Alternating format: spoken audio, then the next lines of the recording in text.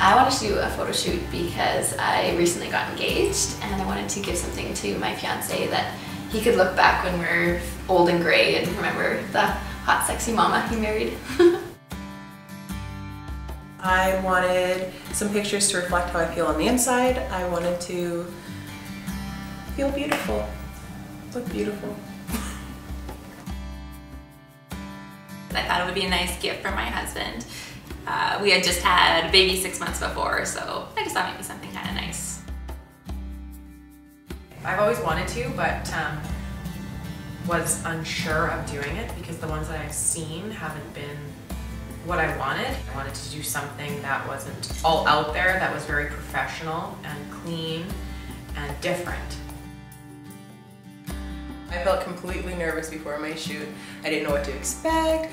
I thought I was going to be nervous, trying to look sexy in front of another girl, but once I got here, all those feelings went away. I think it was more fun than I thought it was going to be. I was a little bit nervous at first and thought it might be quite awkward posing. It just was such a relaxed environment that I instantly lost the nerves. Like it was just natural and fun. Uh, Rachel did my hair for that, and then Lisa did my makeup, and it was so much fun. It was just like getting pampered, so it was great. I had a lot of fun, and it's kind of nice to do something like that for yourself. So having your hair and makeup done before anything is such a great and cool thing. You just sit there and have somebody do everything for you and then you look after in the mirror after and see how amazing you look. No one has given me as much guidance as she did, which I really appreciated because when you're sitting there, it's it's awkward sometimes, especially when you're in your lingerie or in a in an outfit that's a little bit revealing. It's hard to to think about everything, where your hands are, where your feet are, where your legs are, should they be crossed. So I really appreciated the the amount of structure she would actually stand where I needed to stand and would show me exactly what I needed to do. So that made me feel a lot more confident. It was good to see the photos after because I looked a lot better and less awkward and than I thought I was going to look. I was very scared I would be making funny faces. My husband loved the photos. I think he was showing them off more than I was. He was shocked and in love with every single photo. As soon as I got in the car, I had my um, pictures with me and they tore it apart before I even got to see them.